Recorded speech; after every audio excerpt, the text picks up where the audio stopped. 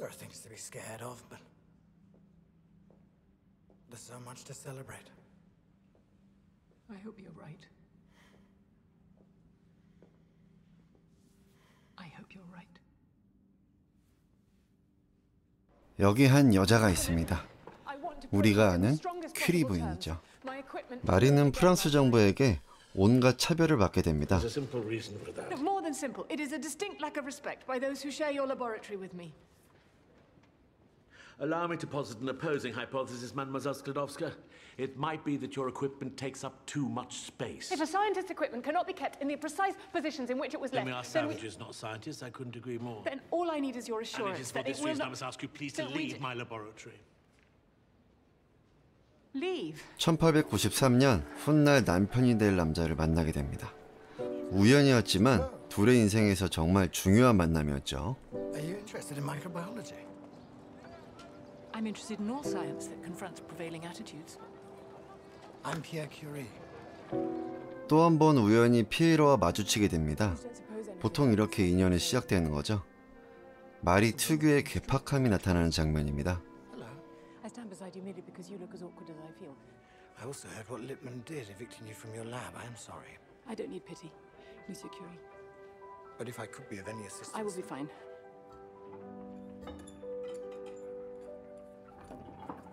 마리는 집에서 연구를 해보지만 한계를 느끼게 되고 결국 피에르의 손을 잡게 됩니다. 그 와중에도 굉장히 까탈스러운 모습을 드러냅니다. 이런 성격이 위대한 업적을 남기는 것에 도움이 됐던 것이죠. 괴팍의 대명사 스티브 잡스를 생각하시면 될 것 같습니다. 하지만 이런 성격이 연애와 결혼에는 도움이 되지는 않겠죠. 그러나 피에르는 그런 모습까지 이해하고 사랑하게 됩니다. 피에르 같은 스윗한 남자가 아니었다면. 마리는 연애나 결혼을 경험해보지 못했을 것입니다. 이 부분은 재미있는 부분이에요. 그런 마리의 성격 덕분에 피에르가 프로포즈를 하게 됐다고 보이니 말입니다. 둘은 그렇게 결혼을 하게 됩니다. 피에르는 최고의 파트너이자 남편이 되죠. 이 장면은 제가 본 영화 중에서 최고의 프로포즈라고 생각됩니다.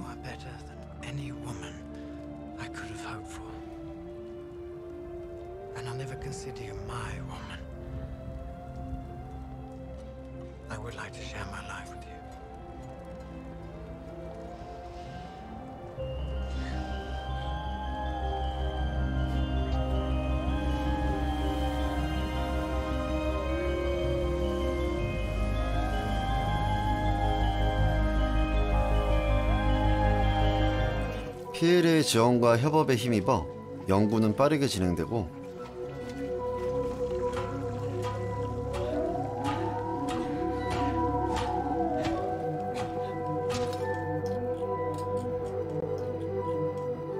결국 두 사람은 새로운 원소 폴로늄과 라듐을 발견하는 데 성공합니다. Sure? Sure. Yes. It's the most beautiful thing I've ever seen.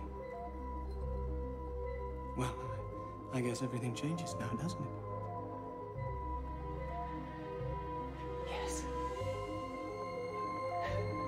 드디어 학계에 발표하게 됩니다. two new elements polonium and radium. 그것이 바로 우리가 아는 방, Radioactivity. 능입니다. 마리가 지은 이름이죠. 학계에는 난리가 나고 온 세상도 난리가 나게 됩니다.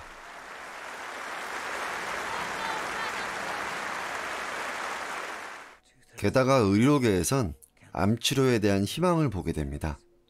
실제로 현재까지도 암 치료에 쓰인다고 하죠. They're starting a study group. He thinks our radium could cure cancer. 피에르는 노벨상 발표에 앞서 라듐의 위험성에 대해 이야기를 합니다. 그리고 노벨상을 받게 됩니다. 훗날. 피에르의 경고는 현실이 되죠.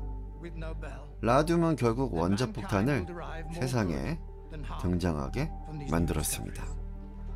물론 직접적인 건 마리키리 사후에 다른 과학자들의 연구 때문이었지만 근본적으로는 마리가 핵전쟁을 만들어낸 겁니다. 마리와 피에르는 그 위험성에 대해 외면하지만은 않았었죠. 당연하게도 체르노빌에도 일본에 떨어진 원자폭탄에도 마리의 연구는 연관되어 있는 겁니다.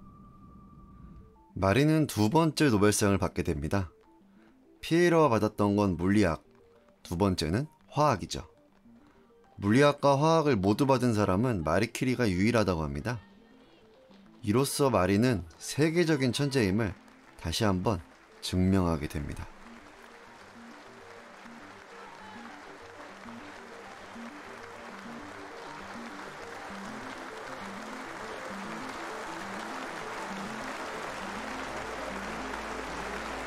방사능의 부작용이 서서히 나타나게 됩니다. 많은 사람들에게 나타나고 피에르도 점점 쇠약해져 갑니다. I'm sick. When I cough, there's blood. Let's get out of Paris and rest and get better. 죄책감을 가지고 있던 마리는 딸과 함께 1차 세계대전에 참가하죠. 마리가 스스로 개발한 엑스레이를 실은 차를 끌고 다니며 부상병을 진단합니다. 이때 마리에게 도움받은 부상병이 100만 명이 넘는다고 합니다. 훗날 밝혀진 바로는 이때 마리가 방사능에 과다 노출된 것이 사망의 결정적인 원인 중 하나라고 합니다. What do you think? What? Irene, you're only 18 years old, but you're the most capable doctor here. What do you think? I think we should take him to hospital.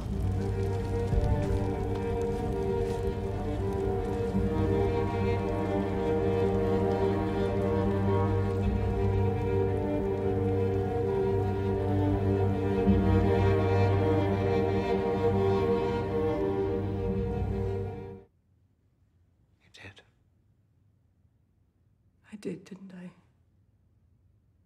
Didn't I? I think we should leave here, don't you? No, there's too much to do.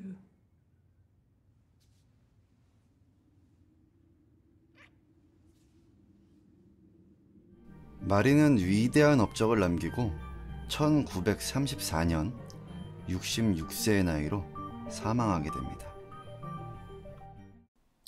어떻게 보셨나요?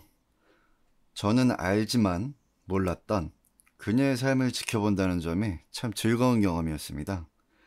자극적인 영화도 좋지만 담백하고 가슴에 남는 마리 퀴리 꼭 한번 보시길 바랍니다. 오늘의 영상은 여기까지입니다. 함께 해주셔서 감사합니다.